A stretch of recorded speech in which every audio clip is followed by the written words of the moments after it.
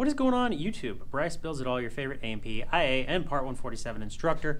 And I'm going to continue my video series on A&P practical projects for students going to test to get their A&P, but this might apply to anyone. And this video is going to be about how to read this guy right here. And this is a micrometer that measure, measures down to four decimal places or ten thousandths of an inch.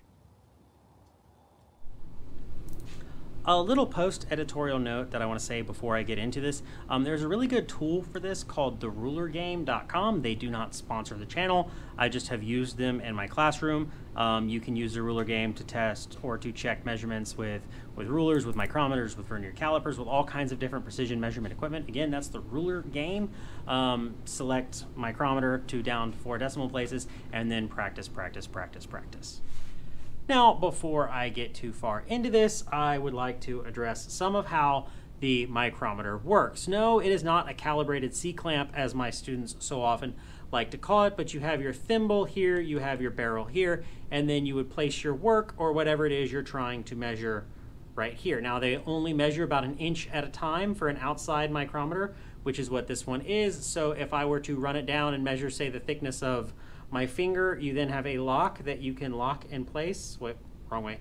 That you can lock in place so that you can no longer turn this. And now if you listen really closely, that satisfying sound is the ratcheting stop. And that ensures that when you finish tightening this down, you don't over tighten it. So now how do we read this? And let me go ahead and show that to you. Now I apologize in advance. I don't know how well my GoPro is going to focus on all of this. So it might take a couple of takes or a couple of tries, or I might put up like a screen recording of exactly what this is seeing while I speak so that you can understand what I'm doing here.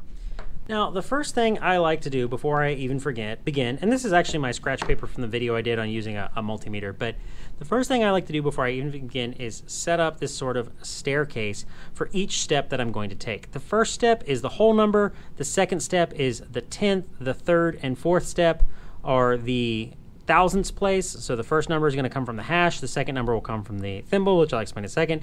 And then the last step is three zeros followed by a hash for my vernier scale. If I set this up each time like this, then I will know exactly what I need to plug in. So the first number that I'm going to do is my whole number. This is a 0 to 1 inch micrometer. It says 0 to 1 inch. So my first whole number is 0. My second number is going to be my tenths. Now, I could probably do this without the math, but it helps to show you the math. And again, let's see if I can get the GoPro to focus on it, but that is at least 4 tenths. 1, 2, 3, and 4 tenths. Okay, so that's now my next number. So now I just need to figure out this portion right here. Now, it's kind of hard to see on camera. Like I said, I'm going to try to get the GoPro to, let me see if I can get the GoPro to focus on this. Maybe, maybe not. It's a little blown out. Okay, I'll draw it on the paper. I'll draw it on the paper. I'll show you exactly what it's doing.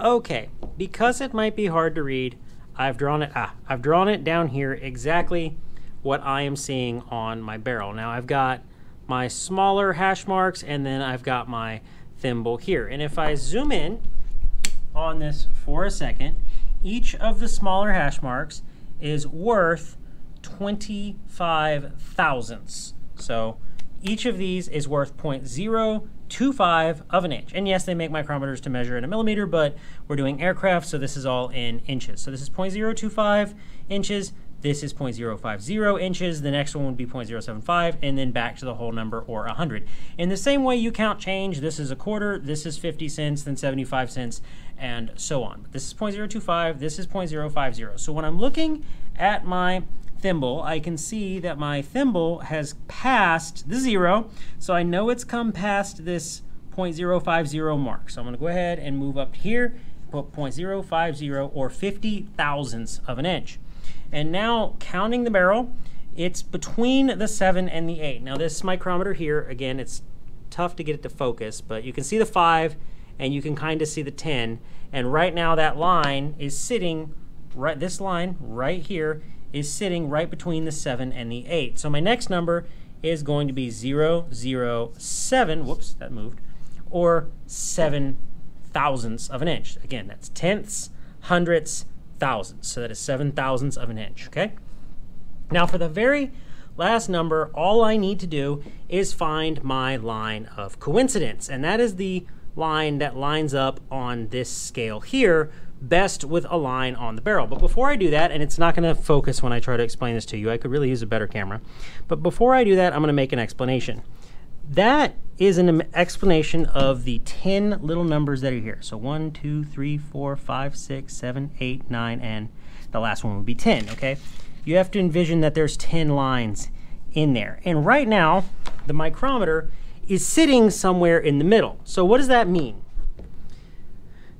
To me, that means that my line of coincidence, since the line on the thimble is lining up in the middle with the barrel, that means that my line of coincidence is not going to be down here at the bottom or up here at the top. It's going to be somewhere in the middle around that four or five marks. And I'm going to lift this out of camera so I can kind of find it. And I'm looking for it right now. You're just going to have to trust me on this, unfortunately, but I'm going to say that that last decimal place is 6. Now, it's kind of hard to see, but if I follow up my lines of coincidence and I go to number 6, number 6 lines up almost perfectly with this 16 right here. It does not matter what number on the barrel or what number on the thimble the line of coincidence lines up with it's the number on the line of coincidence that matters. So that last decimal place is 0.6. This is a mistake my students make a lot. They'll grab this number from over here.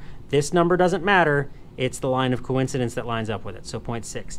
The only way I would know that it would be either 0 or 0 is 0 is the only number where both the 0 line of coincidence on the top and bottom will line up. So I'm going to go ahead and loosen this now that I got my measurement if I took this and went down to exactly the 9 or the 8, as close as I could get it, it's very difficult. Got it sort of locked in place. This 0 lines up, and now if I go to the top, this 0 will also line up. If they don't both all line up, then it's not on the whole number like I just kind of did here. If this lines up and you're like, ooh, is that is that 7.9 or is that 8 point, or as not 7.9, is that 0.0089 or 81 or 0.0079. Words are really hard, but you get the idea, okay?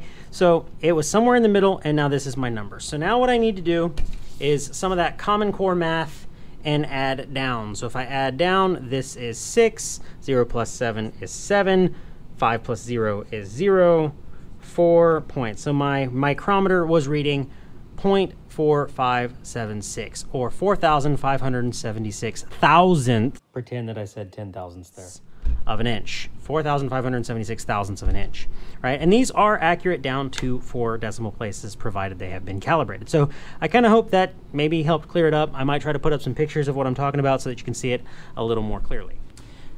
Now, with all of that said, I kind of hope I helped clear things up. I don't know how many um, screen recordings slash photos I'm going to have to use in this um, words are hard in this video to kind of help get you to see what I'm talking about. Maybe I can go to the ruler game and make it look like what this looked like because the camera doesn't focus very well. But that's what I get for filming with a GoPro.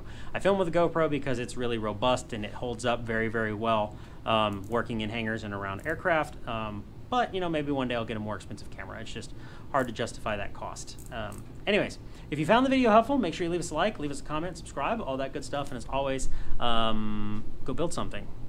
That'd be easy.